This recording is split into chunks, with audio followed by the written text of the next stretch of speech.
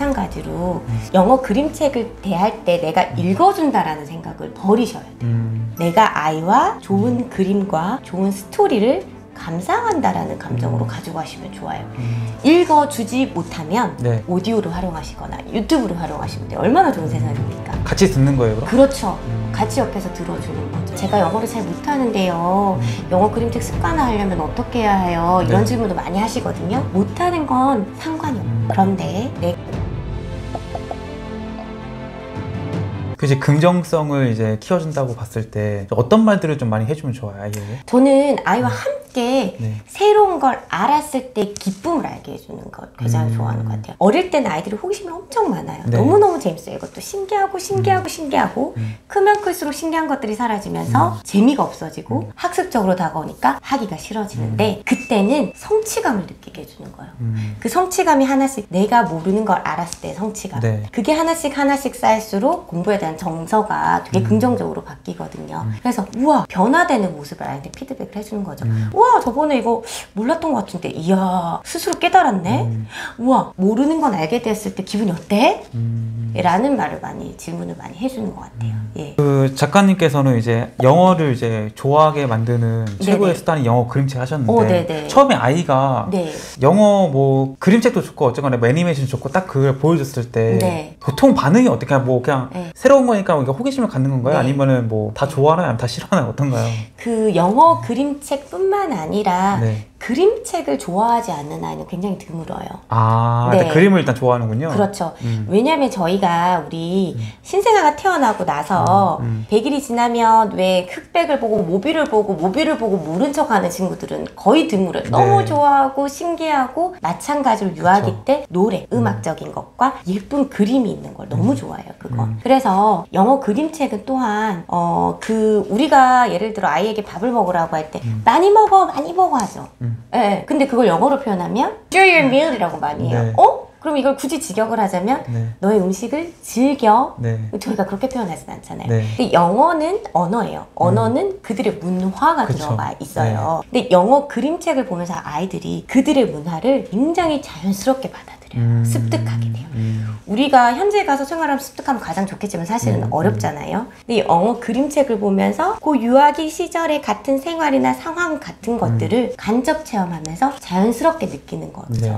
그러니까 저희가 우리가 재채기를 할 때도 우리는 그냥 뭐 괜찮아 정도지 God bless you라는 이야기를 잘 안 하잖아요. 네. 그런 것들이 그림책에 어떻게 나와 있는지 나와 있는 거예요. 아. 그림을 통해서 상황을 통해서 아. 가르치는 게 아니라 아이가 네. 습득을 하게 되는 거죠. 음. 그만큼 좋은 게 없고 또 아이들에게 가장 좋은 건 재미가 있죠. 음. 네, 지금 요즘에는 성인들을 위한 그림책도 많고 시니어 그림책 모임도 많아요. 근데 그림책이 재미있기 때문이죠. 음. 그러니까 재미있게 새로운 언어를 음. 상황에 맞게 문화적인 배역도 자연스럽게 네. 여길 수 있는 게 영어 그림책만한 게 있을까라는 음. 생각을 많이 하죠. 그래서 영어 그림책을 아이한테 이제 네. 쥐어준다고 생각해 볼게요. 네. 일단은 뭐 아이가 혼자서 뭐 넘겨볼 수도 있다고 생각이 들고 음. 이제 같이 본다고 하면은 네. 이제 엄마가 뭐 설명을 해주든지 영어를 읽어주든지 해야 될 거 아니에요. 네, 네. 그건 제가 봐도 우려되는 상황이 네. 아, 나는 발음이 나쁜데 이 나쁜 발음을 아이한테 들려주는 게 과연 교육적으로 좋을까 네, 네. 이런 고민이 일단 들 것 같거든요. 그렇죠. 굉장히 제가 몇십 년 동안 네. 똑같은 질문, 반복적인 네, 질문이에요. 네. 제가 영어를 못하는데 발음이 이상한데. 네. 아까도 말씀드렸다시피 음. 우리가 음. 팝송을 들을 때그 네. 음악이 그냥 제가 해석을 다 해서 좋은가요? 아니죠. 아니죠. 그리고 영화를 보실 때 네, 네. 더빙 보세요. 더빙으로 보지 않고 왜 자막으로 네, 보잖아요. 네. 더빙으로 보면 뭔가 이상하긴 하죠. 느낌이 네. 이상하잖아요. 네, 마찬가지로 영어 그림책을 대할 때 내가 읽어준다라는 생각을 버리셔야 돼요. 네. 음. 내가 아이와 좋은 그림과 좋은 스토리를 감상한다라는 감정으로 가져가시면 좋아요. 음. 읽어주지 못하면 네. 오디오를 활용하시거나 유튜브를 활용하시면 돼요. 얼마나 좋은 세상입니까? 같이 듣는 거예요, 그럼? 그렇죠. 음. 같이 옆에서 들어주는 거죠. 제가 영어를 잘 못하는데요. 영어 그림책 습관화 하려면 어떻게 해야 해요? 이런 네. 질문도 많이 하시거든요. 못하는 건 상관이 없어요. 음. 그런데 내가 회피하는 게 상관이 있는 거죠. 음. 그런 태도가 아이에게 전환되니까 못하지만 우리 같이 한번 읽어볼까? 이렇게 활용해 볼까? 네. 라는 점을 많이 보여주시면 좋고요. 대할 때 우리 여행 가서 바다를 보면 아이에게 와 누구누구야 바다 너무 예쁘다. 색깔이 어떻게 저렇게 파랗고 고울 수가 있지? 라는 마음이랑 똑같은 거예요. 음. 영어 그림책을 보면서 자 내가 이 그림책 한 권으로 우리 아이 영어 실력을 드높이겠다 음. 라는 생각을 버리시고 이야 이 그림이 예쁘네 감정을 계속 교감하고 나누면 음. 아이가 영어 그림책에 대한 음. 긍정성과 영어에 대해서 자연스럽게 좋은 감정들이 잘 음. 그게 바로 엄마만이 해줄 수 있는 것들이죠. 예. 아, 그러면 이 영어 그림책까지 교육하는 거는 음. 네네. 이렇게 몇 세까지 가능한 거예요? 저는 네. 중학교 때까지도 계속 읽어주고 아, 그래요? 네. 음. 실제로 제가 성인 영어 그림책 합을타를 하잖아요. 네, 네. 그 제가 읽는 감상하는 그림책과 네. 스토리텔링 해주는 그림책의 묘미 가 음. 예, 제가 읽는 것과 누군가 읽혀주는 것의 맛이 다르기 때문에 음. 아이가 원하는 한 네. 예, 저는 그림책, 영어 그림책 다 읽어줄 생각이 있어요. 음. 그리고 성인 저희 수강자님들도 아 강사님 읽어주세요. 네, 예, 네. 그게 더 재밌어요. 음. 예, 라는 말씀도 많이 하시죠. 저는 나이에 연령 제한은 없다고 음. 생각을 합니다. 실제로 제가 아시는 분 중에서 네, 네. 영어를 포기했다가 네. 그 수능 만점을 받으신 영어 수능 만점을 받으신 분이 계세요. 네, 네. 근데 그분이 영어를 어릴 때 너무 좋아했다 합쳐 다 하니까 영어를 포기한 거예요. 음. 근데 어떻게 다시 영어 수능 만점까지 갔냐? 아, 내가 이러면 안 되겠다. 목표점이 생긴 거예요. 음. 그래서 내가 영어 공부를 열심히 하니까 너무 재미가 없더래요. 네. 예전에 영어 그림책이 생각나더래요. 네. 중학교 때 영어 그림책을 300권, 400권을 봤대요. 와. 너무 재밌었대요.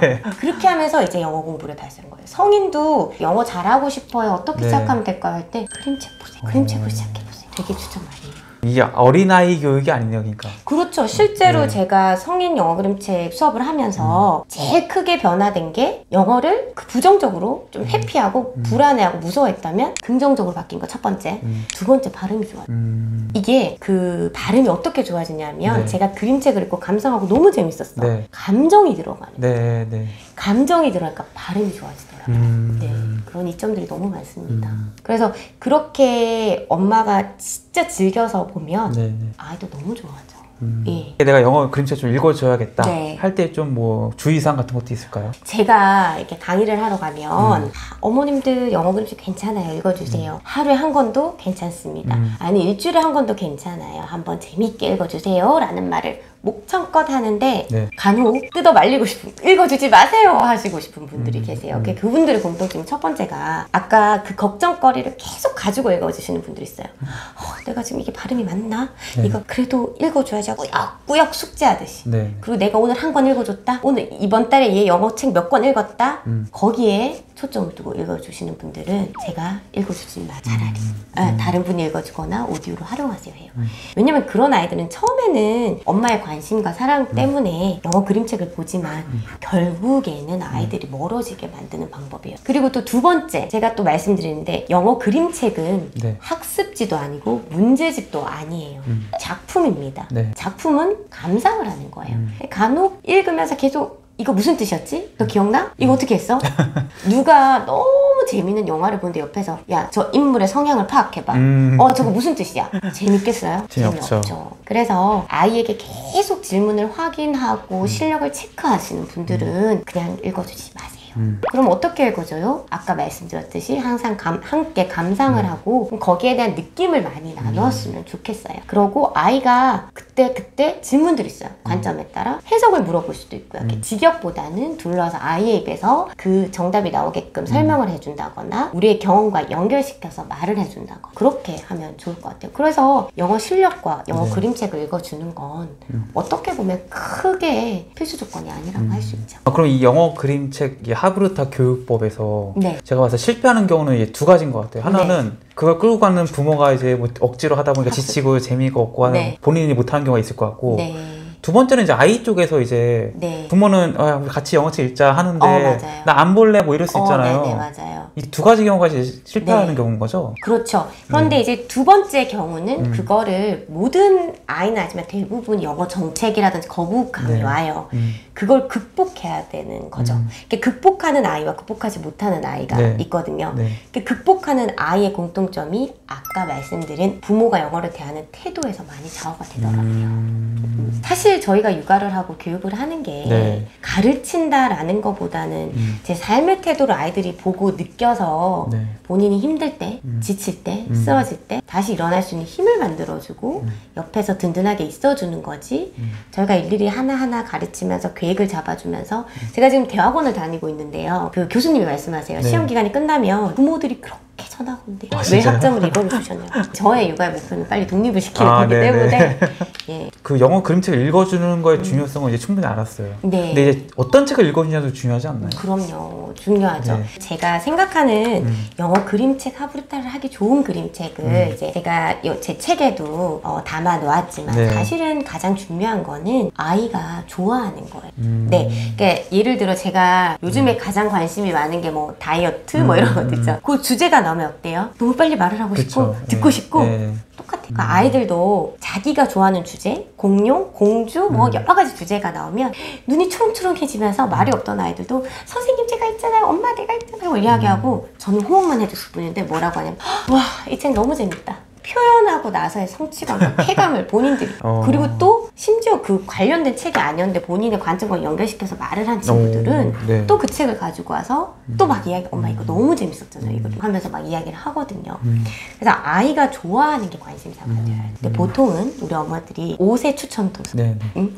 연령별 권장 도서, 네. 어뭐 배워 저도 뭐 거기에다 몸을 담았었지만, 네. 음. 어왜 우리 아이는 베스트셀러는 안 좋아하지? 막 걱정을 하시거든요. 근데 모두의 베스트셀러지만 제가 읽었을 때 재미없을 수가 있잖아요. 네. 관점은 저희 아이의 5세 때 베스트셀러가 뭐지? 음. 6세 때 우리 아이가 베스트셀러가 뭐지? 권장 도서는 참고용이에요. 음, 그 관점의 초점은 저희 아이에게서 나가야 돼요. 그러면 가르치려는 마음이 좀 버려. 내가 이걸 가르쳐야지. 자, 동물 부분에 있어서 색깔 이렇게가 아니라 음. 아이가 지금 동물에 관심이 있으면 그 관련된 그림책을 보고 어? 아, 이런 동물 그림책, 색깔 그림책이 베스트구나. 그럼 네. 이렇게 접목을 시켜야 되는 거지. 음. 바깥에 있는 틀을 자꾸 내 아이에게 끼우면 남과 같은 아이가 되는 거죠. 인공지능이 어떻게 살아남겠습니까? 음. 어? 내 아이의 관점에서 바깥에 있는 모든 좋은 자료들을 음. 연결시키는 경험이 굉장히 저는 중요하다고 생각이 들어요. 음. 그리고 또 아이가 좋아해야겠지만 두 번째는 계속해 나갈 수 있는 힘이 될 수도 있는데요. 네. 네. 네. 그 엄마가 좋아하는 그림책도 좋아요. 예를 들면 저희가 어떤 연예인을 좋아해요. 네. 제가 가수 잔나비 음. 최정훈을 너무 좋아하거든요. 음. 막 콘서트도 가는데 네. 그 친구가 시집을 되게 많이 읽어요. 네. 네. 그러면 그 친구가 읽는 시집이 뭐지? 나도 저거 읽어봐야지 한단 말이죠. 연애할 때도 마찬가지잖아요. 그 사람이 좋아하는 음식, 성향, 같이 하고 싶고 관심 음. 있잖아요. 부모는 엄마는 아이들에게 연예인보다 더 음. 좋아하는 사람들보다 더, 더 절대적인 가치와 선망의 대상. 그럼 엄마가 좋아하는 그림책을 아이와 함께 이야기를 나누고 감상을 하다 보면 네. 엄마의 진심이 들어가서 엄마도 막 신이 나가지고 막 네. 그게 아이가 느껴져. 음. 그럼 나도 같이 공감하고 음. 싶고 같이 하고 싶고 같이 긍정성이 자라는 거죠. 그리고 또 세 번째는요. 저는 이렇게 막 부지런하지 않아서 요즘에 SNS를 보면 네. 독후 활동을 엄청 잘하시는 분들이 너무 맞아요. 많아요. 막 예쁘게 만들고 맞아요. 저 그걸 못하거든요. 음. 네, 저는 선 경험 후 활동, 아 그러니까 후 독서예요. 네.